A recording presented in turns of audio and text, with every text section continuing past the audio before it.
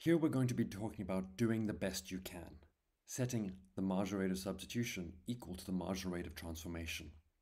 So this is all about Keiko's constrained maximization problem. Okay, so thinking about that, what do we have to do? We have to recall that problem. Keiko is choosing between living and learning.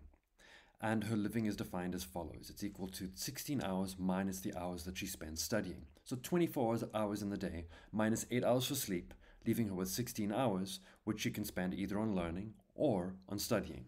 Studying produces learning. So Cobb-Douglas utility function is uxy equal to x to the power 0.4 times y to the power 0.6, where x is living and y is learning. This means that her marginal rate of substitution is equal to 2 thirds y over x. Now you'll notice this is a different one to what we saw in the previous video. Um, now that was because in the previous video we assumed um, alpha equals 0.3 and that was to do a different example to the one in the textbook.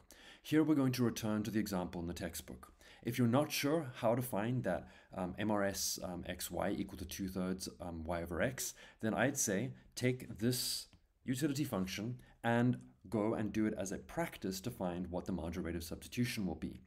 What you'll see there is that you can get 2 thirds y over x as the MRS. Okay, um, now we assume her feasible frontier is given by the following equation. That's equal to y equal to 4 minus 1 over 64x squared. So this comes from the production function for um, uh, studying into learning. You can find that in the math note in the textbook. But this is her feasible frontier in terms of um, living and um, learning. Okay, so here we have a feasible frontier and we have our indifference map with three different indifference curves, um, one, two, and three. So we can combine Keiko's feasible frontier and indifference curves to understand her constrained utility maximizing choice. Her preferences are represented by her indifference curves, and she will prefer the bundle with the highest utility. Her constraint is that she can only choose a bundle within her feasible frontier. So she has to choose something either on the frontier itself or um, within the other the remains of the feasible set. So the feasible frontier is the dark green line, and the indifference curves are given by um, U1k, U2k, and U3a, U3k. So those should be all indexed k, k, and k here. Sorry, there's a little typo there. Now, when thinking about that, um, we can say that she will maximize her utility where her marginal rate of substitution equals her marginal rate of transformation. MRSXY equals MRTXY and that will happen where the slopes of the two are equal to each other. Now, um, we can see that happening in the figure here at point B. So the slope of her indifference curve is equal to the slope of her feasible frontier. Now remember, the marginal rate of transformation is equal to the negative of the slope of the feasible frontier. The of substitution is equal to the negative of the slope of the indifference curve. Therefore, at her utility maximum, she will reach a point where MRS equals MRT, where the slopes of the two are equal to each other.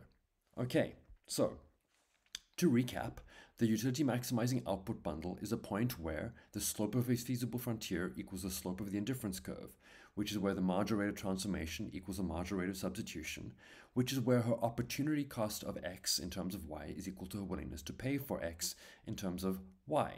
So just to review, when we look at this figure again, at point B, what are we seeing there? With her marginal rate of substitution equal to her marginal rate of transformation, her willingness to pay in terms of her preferences, what she likes, what she is personally willing to give up, um, that is going to be equal to her marginal rate of transformation, what she is constrained to give up in terms of the opportunity cost of um, x in terms of y. Now notice, if we look at points A and C, they are not utility maximizing.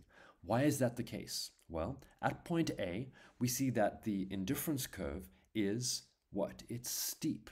That means there is a high marginal rate of um, subs, uh, a high marginal rate of transformation. So if we look at point A, that means steep slope, therefore um, high MRS. Now, what's true of the um, feasible frontier at that point? The MRT, um, the feasible frontier, has a relatively flat slope. Therefore, the MRT um, is low. So MRS and MRT are not equal to each other at that point. She's willing to trade, she's willing to pay some Y to get more X. Now we have the opposite being true at point C. At point C, she has a um, flat slope for her indifference curve and a steep slope for her feasible frontier. Now, what does that mean? It means that her opportunity cost of x in terms of y is high, but her trade offs or willingness to pay in terms of, of y for x is low. So, again, at C, the MRT is not equal to the MRS. At point B, the slopes are equal, the marginal rate of substitution is equal to marginal rate of transformation, her willingness to pay is equal to her opportunity cost. Now, thinking about this, let's try and think about a mathematical example. So we've already said that the marginal rate of substitution is equal to 2 thirds y over x. Now we know that her feasible frontier, y as a function of x, is equal to 4 minus 1 over 64 x squared. Now remember that the marginal rate of transformation is equal to minus dy dx of the feasible frontier. So mrt equals minus dy dx um, of this function. And what can we see that is? That's going to be equal to what? 1 over 32 times x. Okay, that's just applying the power rule. So what do we have to do now? We now have to set MRS equals to MRT. MRS is equal to 2 over 3 y over x equal to 1 over 32 times x, and that's equals the MRT. Okay, so that's what we see here. MRS equals MRT. Now what are we going to do? We're going to isolate one of these terms. We're going to isolate y and find an equation for y in terms of x. So we're going to multiply through by x, and then we're also going to multiply through by 3 over 2.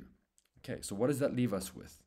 Um, it leaves us with y equal to um, 3 over 2 times 1 over 32 x x.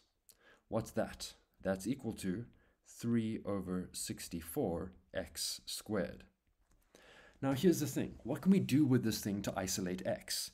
We found a relationship between y and x. We said y is equal to 3 over 64 x squared. Now where else does y appear? Well, notice what we have over here. We have up here an appearance of y. So what can we do? We can write this out as a new equation. We have 3 over 64 x squared is equal to 4 minus 1 over 64 x squared. And so that's how we're going to proceed. What does that leave us with? That leaves us with um, adding 1 over 64 x squared to both sides. So that's going to give us 4 over 64 x squared equal to 4. Now, what do we have to do here? Well, um, I can just multiply through by 64 over 4. That's going to leave us with x squared on the, on the um, left-hand side. So if I do that, that means that I've got x squared equals 64. Now, let's think about this. x is defined as the amount of hours of living. If we're going to have to square this number, that means we have to have a positive square root. We can't deal with a negative square root. We can't have negative hours. So this means that I can find x equal to the square root of 64 in terms of the positive root, and that is equal to 8, because 8 squared is equal to 64.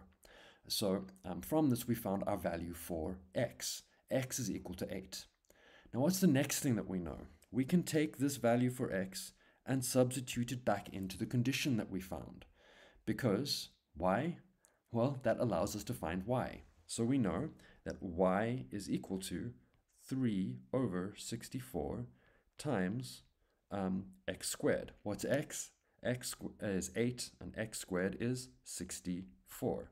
So that means y is equal to 3. So y equal to 3 and x equal to 8, that is her constrained utility maximum. That's what we found here by setting MRS equal to MRT.